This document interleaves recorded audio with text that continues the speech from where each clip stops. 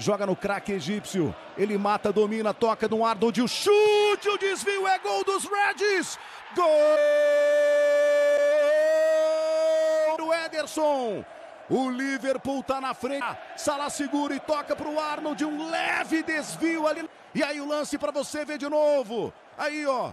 Toca na cabeça do Aqueta.